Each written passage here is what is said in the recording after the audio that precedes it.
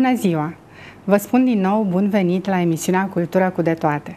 Sunt Alina Vasiliu și pe parcursul acestei emisiuni vă voi da o veste foarte bună privitoare la cultura constanțeană. Dar, mai întâi, așa cum v-am promis într-o ediție anterioară, astăzi ne vom referi pe larg la unul dintre cele mai frumoase muzee din țară și, cu siguranță, cel mai frumos și mai bogat muzeu din mediul rural – Muzeul Dinu și Sevasta Vintilă de la Topalu, sat aflat undeva pe malul Dunării, în județul Constanța.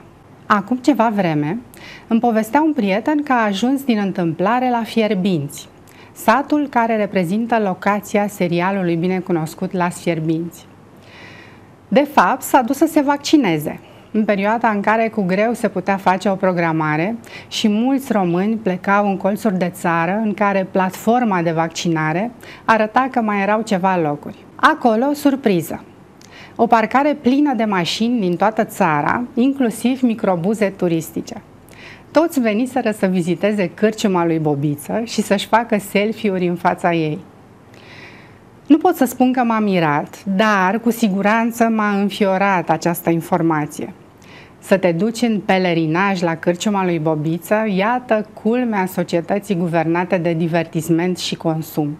Și să nu mă înțelegeți greșit, apreciez serialul și mă amuză, dar de aici până la a face dintr-o cârciumă loc de cult e distanță mare. Prin comparație, atât s-a putut, asta e comparația la care m-a dus pe mine mintea, la muzeul din Topalu nu se înghesuie lumea să facă fotografii cu tablourile lui Tonița sau Șirato sau Dimitrescu, ori cu sculpturile lui Oscar Han. Pe timpul comuniștilor, oamenii muncii erau aduși în excursii la Topalu pentru a fi culturalizați.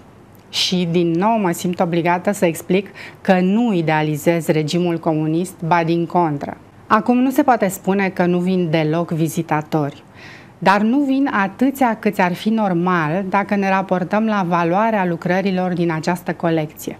Dacă dăm o căutare pe Google după numele Dinu și Sevasta Vintilă, rezultatele vor fi imagini din muzeul din Topalu, tablouri celebre de Tonița, sculpturi de Oscar Han și mă gândesc cât de minunat este că memoria acestor doi oameni, învățători ai comunei, este legată de asemenea frumuseți. Asta a reușit doctorul Gheorghe Vintilă, fiul lor, prin donația făcută statului. A dăruit comunei colecția adunată într-o viață de om iubitor de artă, colecția pe care și-a dat toți banii câștigați. Iar memoriei doctorului Gheorghe Vintilă și părinților săi se adaugă memoria Doinei Pauleanu, care și-a dedicat ani din viață pentru a păstra colecția în proprietatea comunei și în administrarea Muzeului de Artă Constanța, pe care ea l-a condus ca director.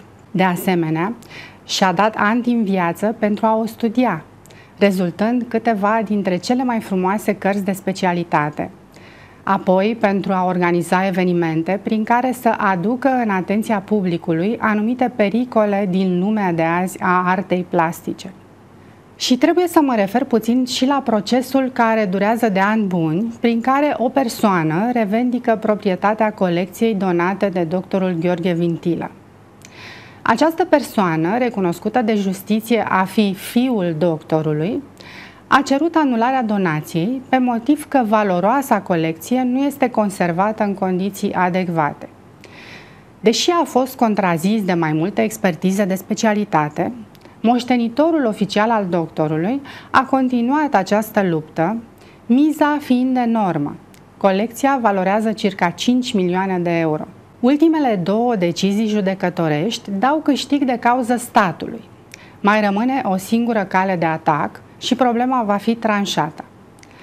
În 2014, Doina Păuleanu a avut inițiativa organizării unei dezbateri la Topalu, tema fiind donațiile muzeale în pericol, cu semnul întrebării. Dezbatere la care au participat istorici și critici de artă reputați, directori de muzee și muzeografi din Constanța, București, Ploiești, Galați și Brăila, precum și jurnaliști. S-a pus problema mafiei retrocedărilor lucrărilor de artă, a dispariției colecționarilor de artă adevărați, a faptului că ajunse în posesia moștenitorilor, colecțiile de artă se împrăștie, sunt vândute la bucată, iar donațiile către muzee nu se mai fac.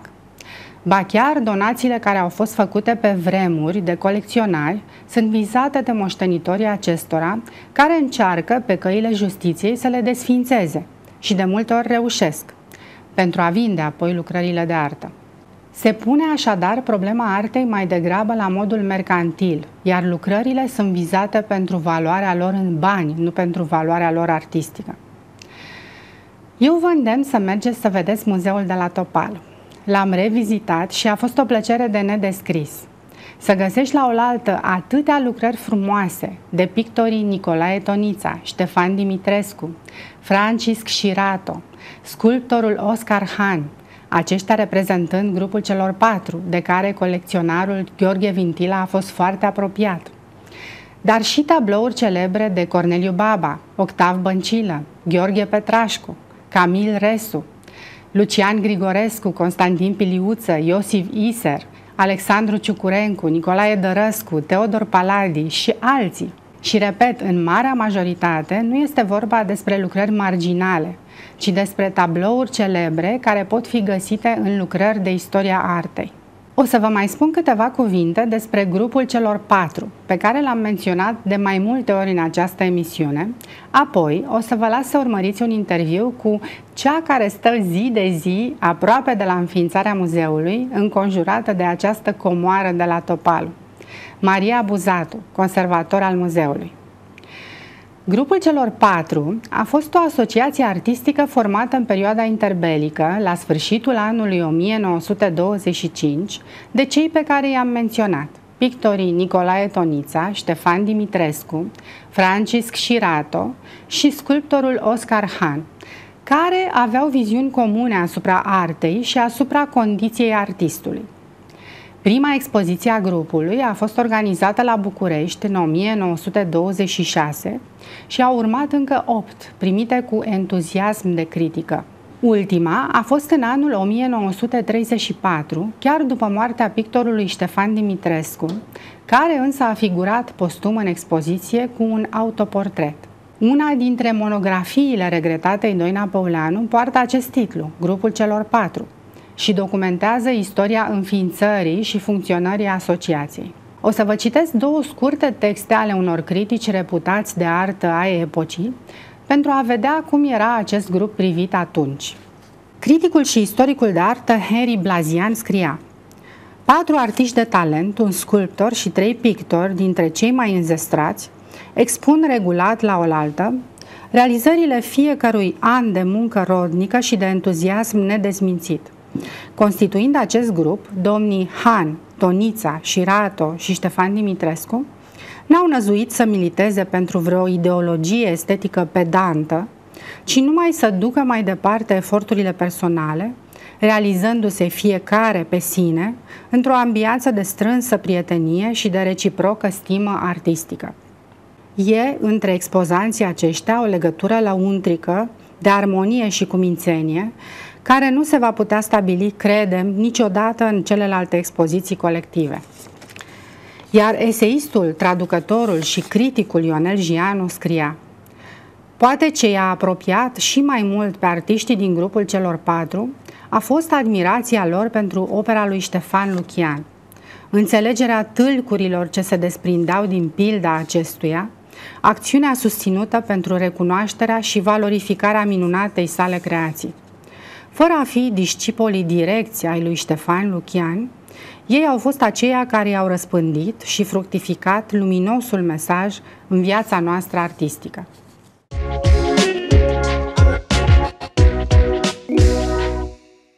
Povestiți-ne cum ați ajuns să aveți acest muzeu în grijă. Uh, în uh, 1968 da. am participat la un concurs era postul liber. Da. Și am luat concursul și am rămas de atunci în acest muzeu. La început ca supraveghetor, după aceea am uh, fost conservator și conservator sunt și în ziua de azi. Și ce, ce faceți exact? În fiecare zi? În fiecare zi au temperatura, umiditatea, astea se ia la început uh, de program. Uh-huh. O dată pe săptămână șterg tablourile, le verific. Uh, de două ori pe săptămână, dacă e cazul, spăl pe jos. Deci fac absolut tot ce se face într-o, într-un muzeu. Verificarea temperaturii, umidității, care e cea mai importantă și toate celelalte lucruri. Povestiți-ne, uh, probabil sunteți printre puținii care ați avut uh, ocazia să-l cunoașteți pe doctorul Vintilă, cel care a făcut uh, această da. donație impresionantă. Este Povestiți-ne cum l-ați cunoscut. Când eu m-am angajat, doctorul Vintilă se pensionase și lucra ca muzeograf la Muzeul de Artă din Constanța, la secția de sculptură Jalea. Și venea și vizita foarte des colecția și așa l-am cunoscut eram tânăr atunci și doctorul a donat această colecție în 1960, deci era aici de 8 ani și îi plăcea să vină, să stea cel puțin două zile pe săptămână, să se recreeze și în felul acesta mi-a mai povestit și câteva lucruri din uh, cum a reușit să adune 40 de ani această colecție.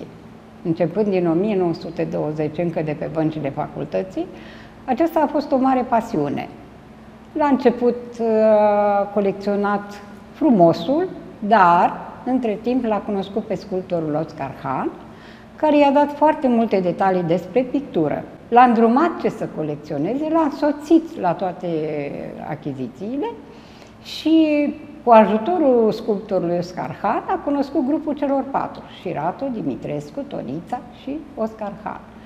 Și a surprins perioada când acest grup picta în Dobrogean, la Balcic, și a achiziționat specific Dobrogean, ce ați văzut dumneavoastră în a doua sală a colecției, uh, unde predomina culoarea soarelui, culoarea caldă, nuanțele discrete, portretele de copii cu ochelari descriși pe o lume necunoscută lor, portretele de tuși și tătar și a achiziționat 18 lucrări de tonița. Tot atunci a adunat și de Șirato și de Dimitrescu și așa l-a cunoscut și pe pictorul Paladi, de Răscu Petrașcu, deci a reușit să-i cunoască pe toți și a adunat un număr de 228 de opere de pictură, sculptură și grafică. Grafica nu este expusă momentan, pentru că e foarte sensibilă la lumină. Aha. Și o expunem la trei ani, trei luni. Și doctorul venea de fiecare dată și zicea, Mario, te rog să ai grijă de aceste lucrări. Te rog eu, te rog, te rog, Maria. Și, uh, și venea povesti... și se uita aici, adică da, le mai privea? Da, venea și cu cunoștințe pe care le aducea la muzeu și se mândrea cu ce donase, pentru că aceasta e casa unde doctorul s-a născut. Este casa părinților casa lui, da. părinților doctorului.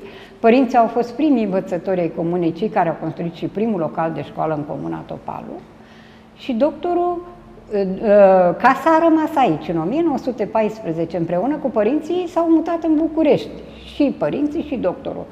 Și a, ă, părinții au fost inițiatorii școlii Alexandru Rahuță, o școală de băieți în București, iar doctorul și-a continuat studiile și a reușit, de-a lungul a 40 de ani, să adune această mare avere, această mare colecție, pe care a donat-o în 1960 în Casa Părintească, în memoria părinților și cu o singură condiție să fie mormântat lângă lucrări, aici, în curtea muzeului.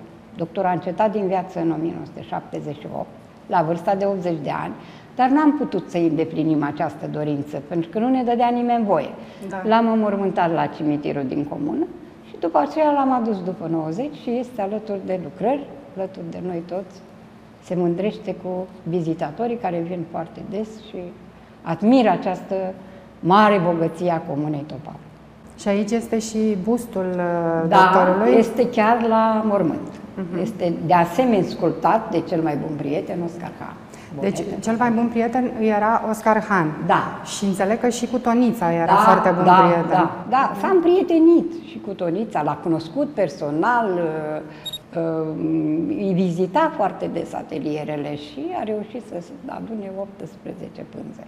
Și de ce credeți că a făcut donația asta atât de mare statului își, român? Îi iubea oamenii din sat, era foarte fericit când venea, mergea, stătea de vorbă cu ei. Mai erau încă colegi cu care fusese în școala primară, Aha. se întâlnea cu ei și a venit în comună.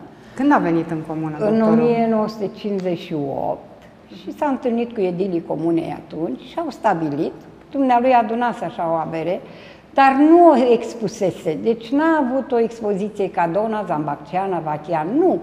Doctorul le-a adunat și le-a avut în apartamentul dumnealui la București, depozitate acolo uh-huh. și le expunea în apartament pe rând să le vadă doctorul, să le admire. Și uh, a venit și a zis, uite, eu m-am hotărât să donez această colecție comunei mele, dacă sunteți de acord. Bineînțeles că au fost de acord, dar a trebuit să renoveze casa, pentru că era formată din șapte camere, casa părintească din șapte camere a fost formată și a trebuit renovată. Au renovat-o până în 1960, că a trebuit să stea o perioadă și renovată, că nu se puteau expune lucrările pe pereți uzi sau așa, da. și în 1960 a donat. Uh-huh. Atunci a făcut actul de donație comunei sale natale, memoria părinților și în casa părintească.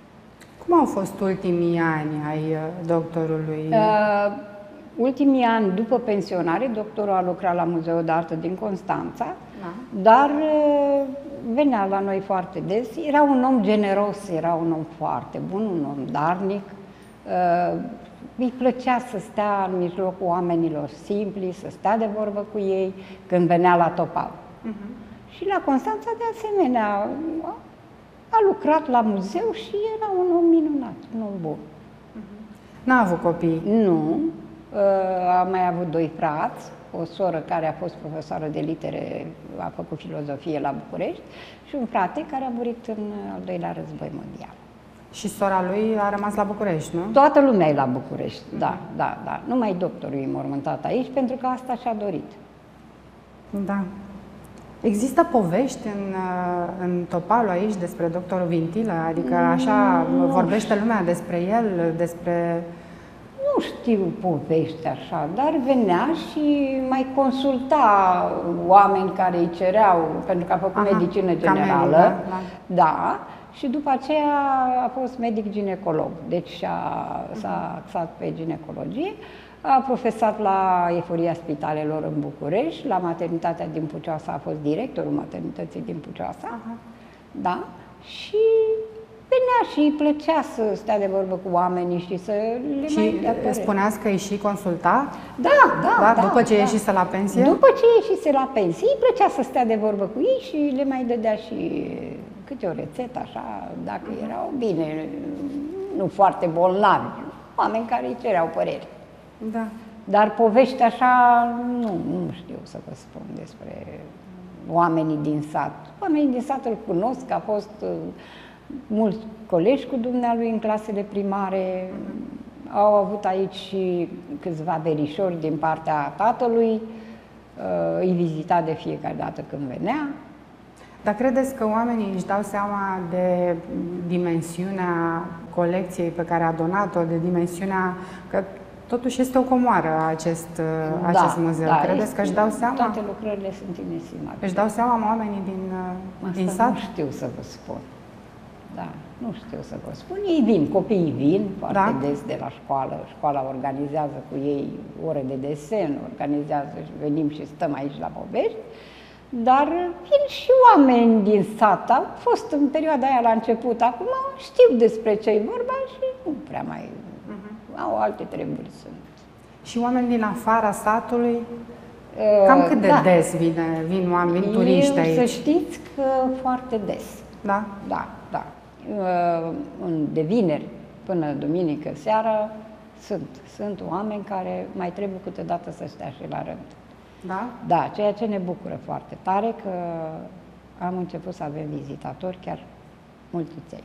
Și sunt oameni care au venit de mai multe ori să vadă? Da, da, da, da, da. da. Și... și își aduc și prietenii, Aha. și aduc și cunoștințele, și familia. Păi am fost, știți, așa, și am mai adus încă și prietenii și... Deci se duce vestea din da, om în om. din om în om, da, uh-huh. da, da, da.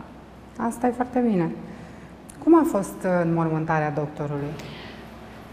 Doctorul a fost adus aici de la spital după ce a încetat din viață. L-am ținut aici priveghiu, l-a făcut aici în muzeu. Au, fost, au trecut toți oamenii din sat pe lângă coșul domnului doctor și l-am mormântat la cimitir. A fost o mormântare normală, nu nimic ieși din comun și, și după aceea deshumarea la fel, cu preot, cu așa, l-am adus și l-am mormântat lângă lucrări, în curtea muzeului, după 90. Cum a fost viața dumneavoastră legată de muzeul acesta? Păi nu știu ce să vă spun. Eu am crescut aproape în acest muzeu, pentru că am Asta venit la o vârstă da. tânără. Și mai mult decât atât, eu am trei copii pe care aici i-am crescut. Da. Au crescut alături de lucrări. O viață minunată, nu știu, chiar dacă acasă mai erau probleme, aici uitam de ele și numai privindu-le, uitai de toate problemele și de toate necazurile, dar să te mai și ocup de ele era minunat. Da. Și mi-a plăcut să fac acest lucru. Și nu știu cum, ce se va întâmpla când mă voi despărți de ele, că va trebui. Dar uh, vreau să cred că în urma mea va veni cineva care să le iubească la fel de mult ca mine și să aibă grijă de ele.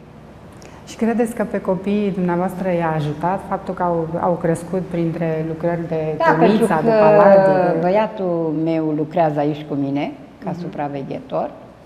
Nepotul și el vine foarte des la mine și așa îi place să le privească și așa.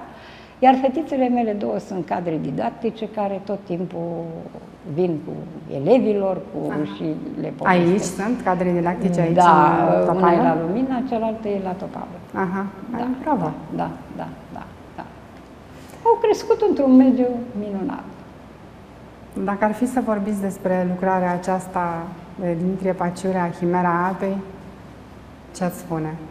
Ce să vă spun? Este o lucrare minunată, ea sculptorului Paciurea și o lucrare pe care doctorul a iubit-o foarte mult. Uh-huh. A fost o perioadă expusă și la Muzeul de Artă din Constanța, dar după aceea am adus-o. Uh-huh. Asta și-a dorit doctorul, să, să, să vadă lumea ce a achiziționat. Și despre Paciurea, ce să vă spun, un sculptor minunat. Ce alte lucrări de sculptură mai sunt în uh, Avem în foarte muzeu. multe lucrări de Oscar Han. Da. Uh, de Jalea, pictorul Dobrogean născut la Casimcea. Da. Uh, avem Medrea și cam atâta. Ce Oscar Han sunt cele mai multe. Uh-huh. Da, pentru că fiind prieten, Erau prieteni, da. da. Și o lucrare din gips patinat, Dimitriu Bărladion. Dar toate celelalte sunt din bros. Și ce vă spunea doctorul despre prețurile lor, despre valoarea?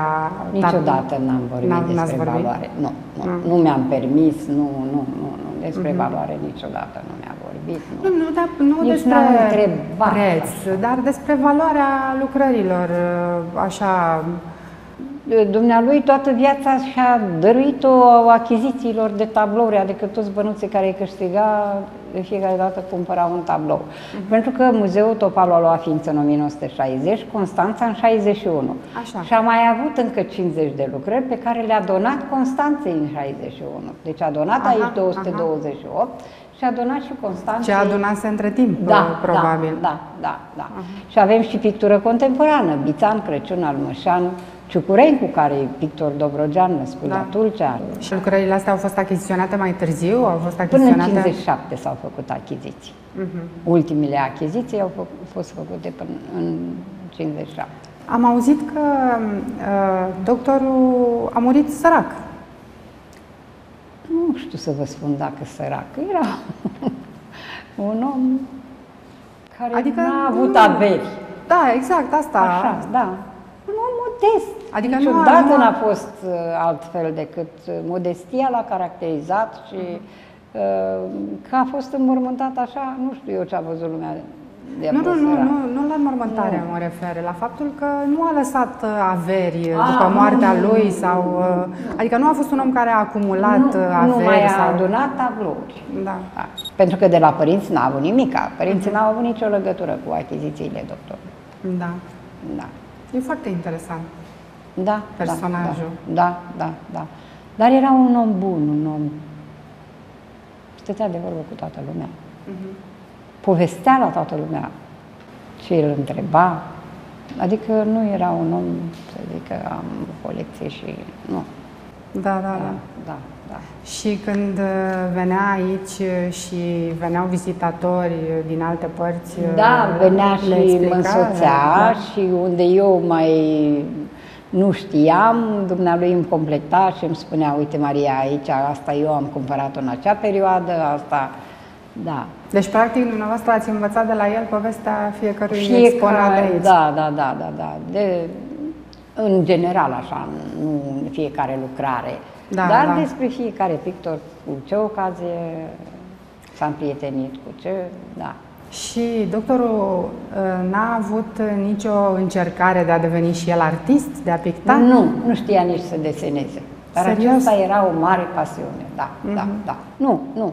După ce s-a împrietenit cu sculptorul Oscar Han, a căpătat foarte multe despre pictură, despre artă, despre... După aceea citea numai cărți despre aceste lucruri și se documenta tot timpul și era bine. Uh-huh. Dar până a început să achiziționeze și să-l cunoască pe Oscar Han, a adunat dibuiri în artă așa, ce i-a plăcut și după aceea a adunat întreaga școală de pictură românească da. sfârșitul secolului XIX, începutul secolului 20. Nu vă întreb despre proces.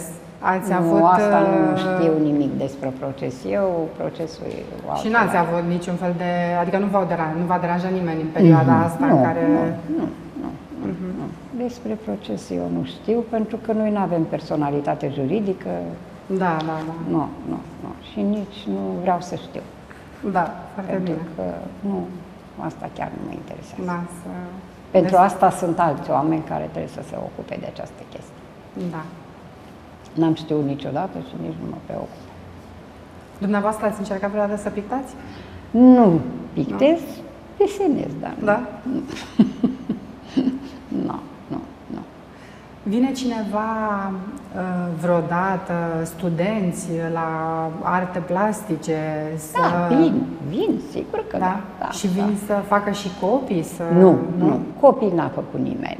Uh-huh. În 72 a fost o tabără de artiști plastici, prima tabără de artiști plastici aici în Comuna Topalu. Uh-huh. Au venit, au pictat peisaje din Comuna Topalu, dar nu, nu copii din muzeu. Uh-huh. Nu, nu, nu. Și s-au mai organizat tabere și acum, în anii trecuți. Tabere de creație, da. De creație mm-hmm. la Topalu, da. Și Doar anul ăsta văd că nu. Da. Dar uh, nu, toată lumea a pictat peisaje din Topalu, dar nu copii din muzeu, nu. Și bănuiesc că este, muzeul este o oprire obligatorie pentru toți pictorii care vin aici da, să, în tabere de creație. lucru asta e ca să vadă și da. mai vin și cât stau aici, dacă au vreme, uh-huh. vin și îl mai vede. Vin da. oameni din toate domenii. Este cu intrare muzeu? Da, intră... da. Pentru adulți 10 lei, uh-huh. pentru pensionari 5 lei, copiii 2,50. Ca la muzeu. Ca la, ca la Muzeul de Artă din Constanța. Constanța. Aceleași reguli le avem.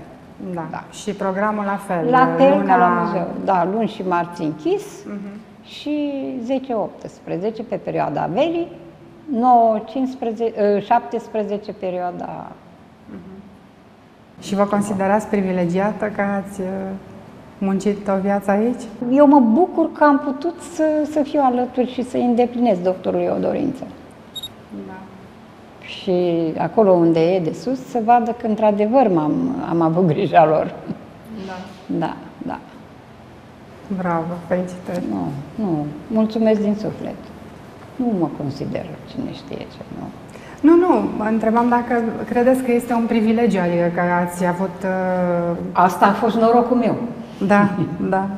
Am avut și eu un pic de mai mare noroc. Da. Da.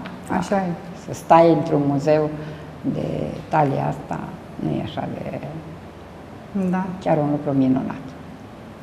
Mulțumesc mult! Și eu vă mulțumesc tare mult și vă doresc sănătate și așteptăm vizitatori. Da. Cât mai mulți.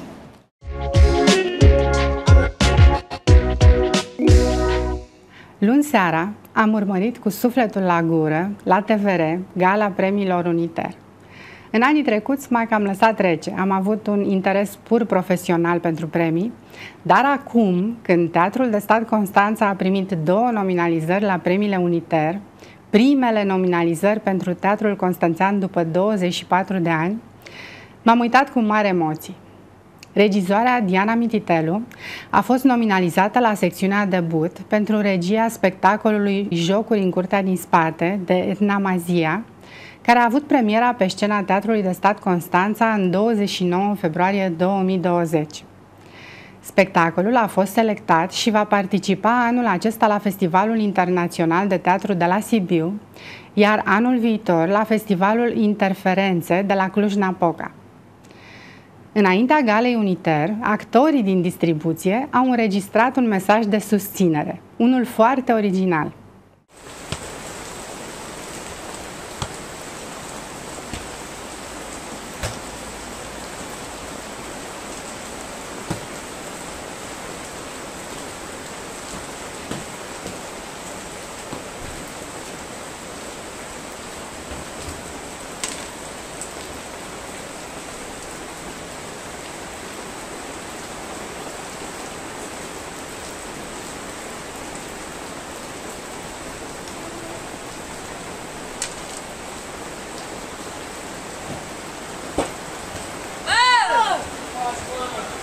N-am vrut scuze.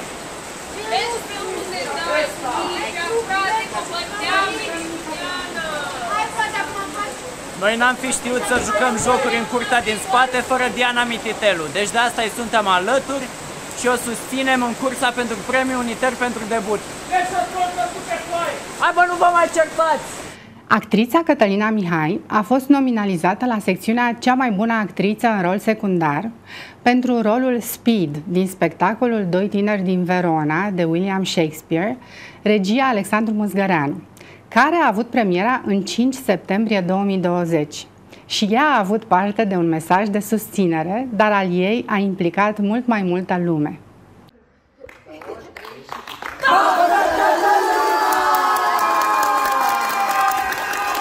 acum, și acum surpriza este...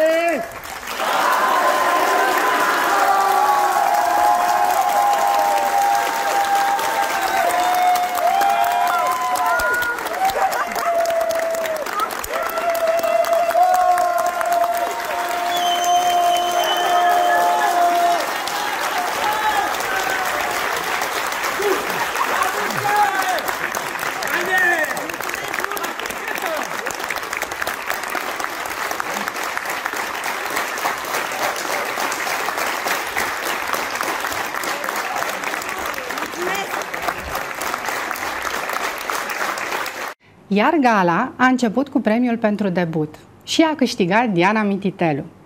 Aș vrea să mulțumesc actorilor uh, alături de care am lucrat spectacolul ăsta uh, și aș vrea să-i numesc pe toți și să le spun că împărtășesc premiul ăsta cu ei, toată dragostea. Ecaterina Lupu, Cristiana Luca, Andrei Bibire, Ștefan Mihai, Teodor Șoptelea și uh, Cătălin Bucur. Uh, de asemenea, aș vrea să mulțumesc uh, întregii echipe a Teatrului de Stat Constanța, uh, managerului Ervin Simpsonson, scenografului Răzvan Bordoș și cred că e un moment foarte frumos și foarte potrivit să îmi exprim recunoștința față de profesorii mei. O să încep cu, cu minunatul, cu domnul Alexandru Darie, cu domnul Vladimir Anton, un mare mulțumesc și uh, profesorul meu de la uh, Universitatea de Arte George Enescu din Iași, uh, domnului Ovidiu Lazar și doamnei Antonela Cornici. Uh, mulțumesc jurului pentru premiu. Mulțumesc! Bravo!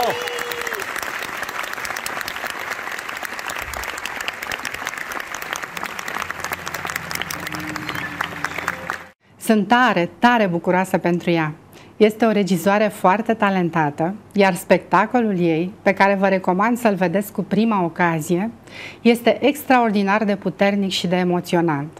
Pentru că mi s-ar părea aiurea să trecem așa de ușor peste acest premiu atât de important, o să profit de faptul că am avut o invitată pe Diana Mititelu în această emisiune și o să vă las să o ascultați un pic ca să vedeți exact cine a primit premiul. Regizorii sunt mereu în culise și oamenii din public nu prea îi cunosc. Mai ales că Diana este și o persoană foarte discretă și modestă, care nu face mare caz de realizările personale. Un detaliu grăitor este, cred eu, că de când a fost nominalizată la premiul pentru debut la Uniter, nu a făcut nicio postare pe contul ei de Facebook despre această nominalizare. Și nu mai știu pe nimeni care să nu fi făcut asta. Cum reușești, ca femeie, da. să-ți impui autoritatea în fața actorilor? Pentru că într-o producție teatrală, practic, regizorul este șeful suprem, este cum e comandantul pe o navă, da? Da, nu mi impun nimic. Nu, nu, nu pornesc la drum așa. Nu pornesc la drum uh, cu ideea că eu, eu știu totul.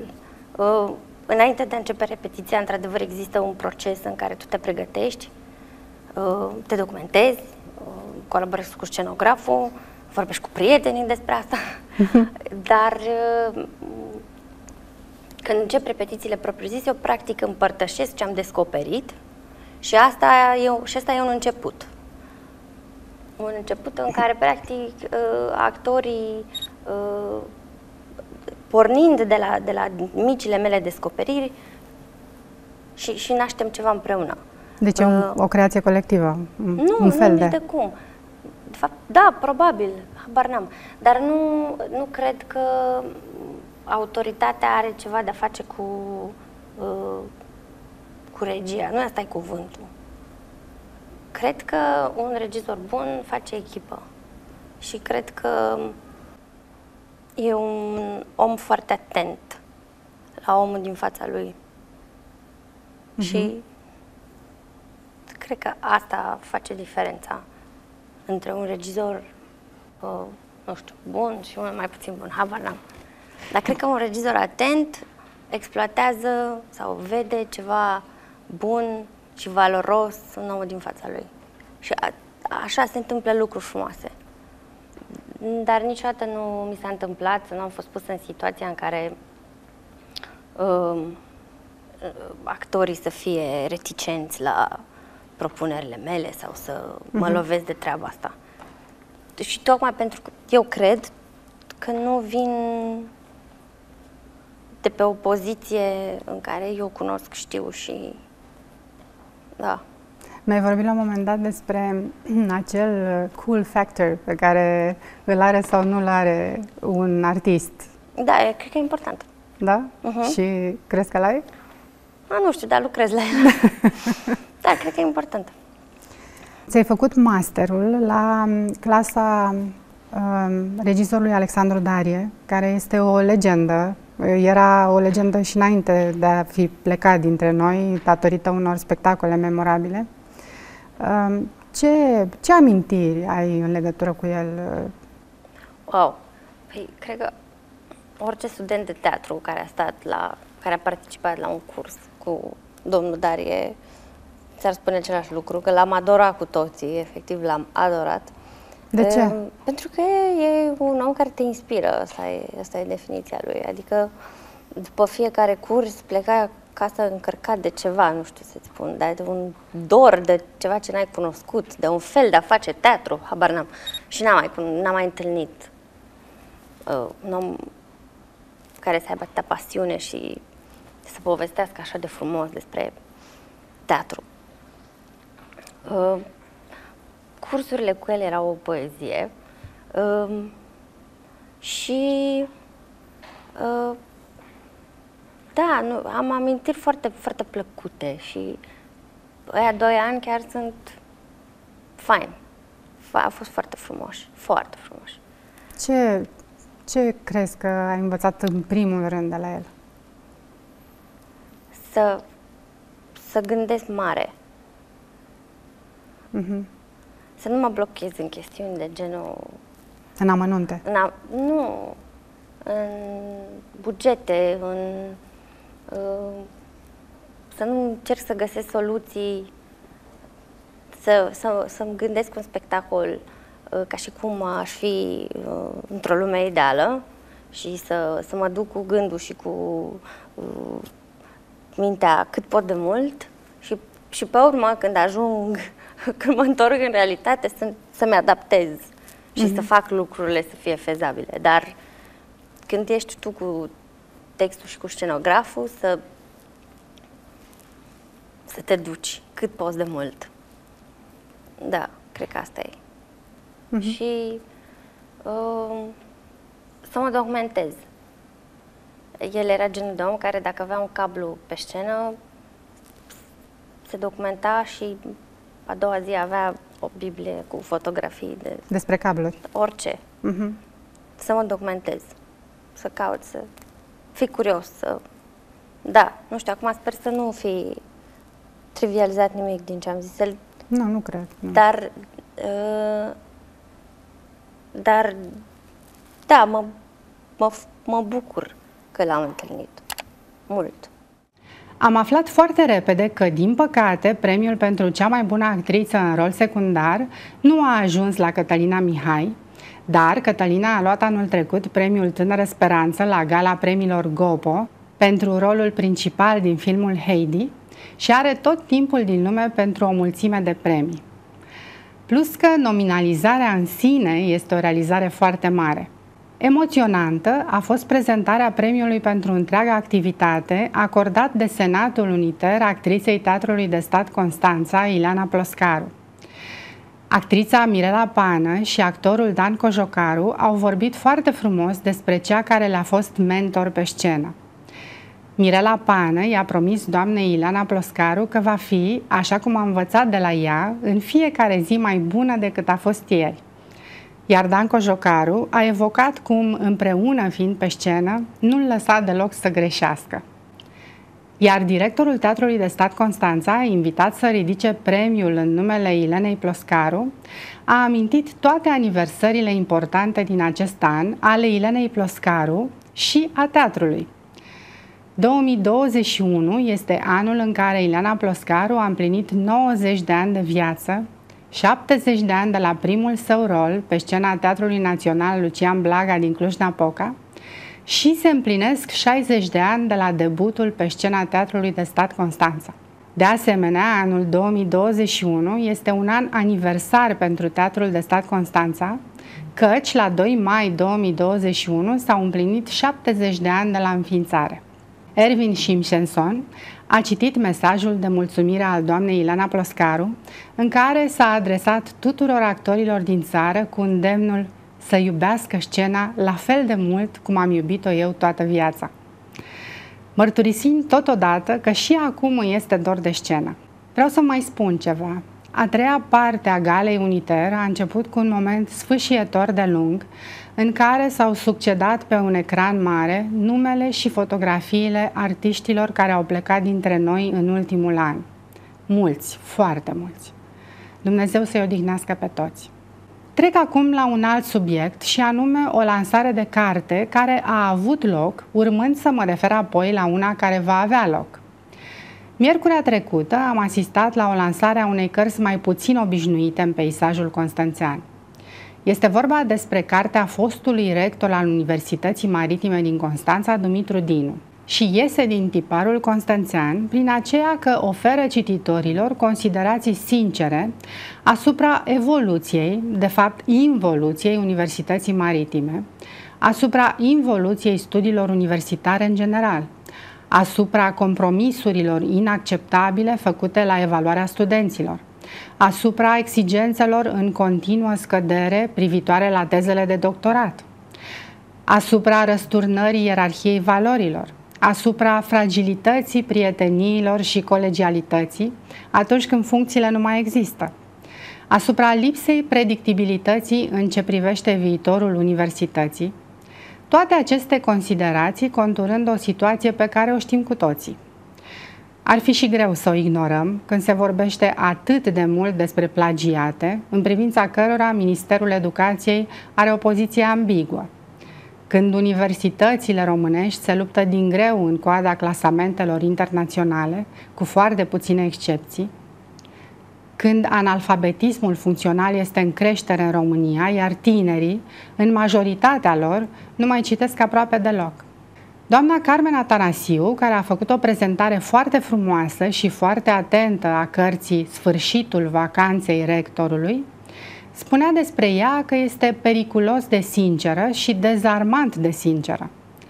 Autorul își asumă și mărturisește subiectivismul și chiar prezintă scuze celor care nu împărtășesc adevărul. Am mai vorbit despre carte profesoara Doina Carp, care a făcut parte din echipa rectorului Dumitru Dinu, cunoscând din interior problemele și evenimentele, și mărturisind că a citit cu plăcere și pe alocuri cu amuzament. Ca jurnalistă, mă bucur de apariția unei cărți sincere, critice, iar cu ocazia asta am aflat și despre precedenta carte de beletristică a lui Dumitru Dinu, un fel de prim volum, Vacanța rectorului, care se constituie într-o istorie post-revoluționară necesară a Universității Maritime, o istorie subiectivă începând de la desprinderea din Institutul Mircea cel Bătrân. Sunt sigură că mulți dintre foștii studenți și-ar dori să o citească, retrăind evenimentele importante ale tinereților. Și acum despre lansarea care urmează. Duminică, 25 iulie, pe plaja de la Modern, un volum colectiv intitulat 13. Proză fantastică. Sunt, desigur, așa cum spune titlul, 13 proze scurte semnate de 13 autori, printre care și poeta constanțeancă Iulia Pană, pe care ați avut ocazia să o vedeți și în această emisiune, într-o ediție mai de la începuturi. Este un volum însemnat care reunește autori consacrați ca Doina Ruști, Octavian Soviani, dar și autori populari ca Lucian Mândruță, mai bine cunoscut pentru activitatea în mass media și pe rețelele de socializare.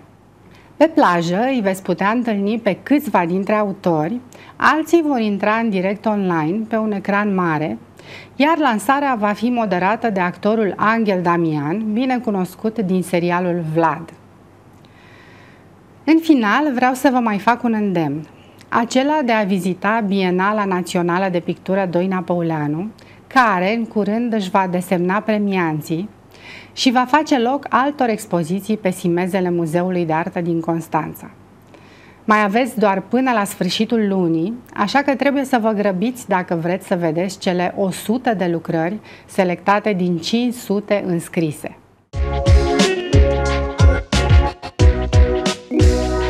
Rubrica De ce citim este dedicată astăzi cărții în general, pentru că s-au întâlnit în fața mea, cum mi se întâmplă de obicei, două chestiuni convergente. A fost mai întâi mesajul adresat de poetul și dramaturgul Matei Vișniec în cadrul unei conferințe a unei biblioteci, mesaj adoptat ca manifest în sprijinul lecturii, iar apoi, la gala premiilor Uniter, mi-am amintit de trofeul Uniter, care este o carte trasă în bronz, operă a pictorului și graficianului Ion Bițan. De fapt, la origine nu a fost un obiect din bronz, ci a fost o carte salvată dintr-un incendiu și legată în cruce ca să fie păstrată, să nu îi se piardă paginile.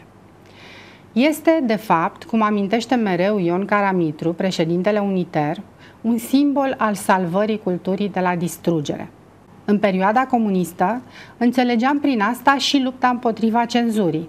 Dar acum simbolul a căpătat alte conotații pe care le deslușește Matei Vișniec, cel care acum câteva luni reacționa indignat la vestea că primarul din Rădăuți, orașul său natal, plănuise să micșoreze bugetul bibliotecii din localitate prin suprimarea unui post de bibliotecară. Iată că acum Matei Vișniec revine cu un comentariu foarte pertinent despre rolul cărții într-o societate care construiește mutanți umani, sclavi a industriei de divertisment. Dramaturgul oferă o pildă foarte elocventă și pe înțelesul tuturor, referindu-se la povestea Cenușăreasa și la filmul făcut de Walt Disney după povestea fraților Grimm. Să presupunem că 100 de copii ascultă lectura acestei povești, fără să fi văzut filmul. Dacă li se cere apoi să o deseneze pe cenușăreasa, vom avea 100 de portrete diferite ale personajului, în funcție de imaginația fiecărui copil. 100 de copii care văd filmul fără să fi citit povestea, dacă li se cere să o portretizeze pe cenușăreasa, vor desena același lucru, adică vor reproduce imaginația casei de filme Disney. Această experiență simplă, care trebuie să rămână imaginară, spune tot despre raportul dintre cuvânt și imagine. Fără lecturi, fără povești citite, fără un raport solid cu cartea, conceptele nu se dezvoltă în mintea copilului și nici nu se consolidează limba. Ori absența gândirii conceptuale frânează atât imaginația cât și spiritul critic. Matei Vișniec mai vorbește în acest manifest despre rolul important al bibliotecii, un rol de rezistență culturală, bibliotecarul având misiunea de a imagina continuu strategii subtile, inteligente, pentru a-i scoate pe copii și pe tineri din ghearele inamicului ei numărul 1, imperiul industriei de divertisment și al tehnologiilor ludice. De asemenea, Matei Vișniec trimite și la cazul primarului de la Rădăuți, cel ce voia să facă economie la salariul unei bibliotecare, scriind că edilii care nu acordă un spațiu convenabil bibliotecii sunt complicii, voluntari sau involuntari, ai mașinii de spălat creiere. Iar țările în care copiii nu citesc pregătesc de fapt mână de lucru necalificată pentru o economie globală inegalitară. România, spune el, a furnizat deja în străinătate între 3 și 4 milioane de perechi de brațe necalificate. Acest fenomen trebuie să înceteze, pentru că altfel însă și identitatea noastră va intra într-o zonă de umbră. Pe fondul fenomenului de globalizare economică și mediatică, biblioteca face parte din ceea ce aș numi ultimele bastioane ale rezistenței culturale și umaniste – Cărțile mai pot frâna tendința de construire a unui om global, adică fără memorie, fără busolă morală și fără identitate. Mi-ar plăcea să se audă și la Constanța acest manifest și să vedem ceva mai multă mișcare și investiție, de fonduri și de imaginație, în acest domeniu al culturii. Evenimentul ce a prilejuit manifestul lui Matei Vișniec a fost ediția a cincea a Simpozionului Național Contribuția Bibliotecii la afirmarea diversității culturale în spațiul românesc, organizat de Biblioteca Universității Ștefan cel Mare din Suceava în perioada 15-17 iulie. Vă îndemn să-l urmăriți pe Matei Vișniec, atât pe Facebook, unde este foarte activ, dar și ca jurnalist la Radio France International, secția română, căci comentariile sale axate pe cultură și politică internațională și activitatea sa ca dramaturg conturează o personalitate care și-a asumat cu hotărâre un rol foarte important în formarea opiniilor și combaterea curentelor destructive ale epocii.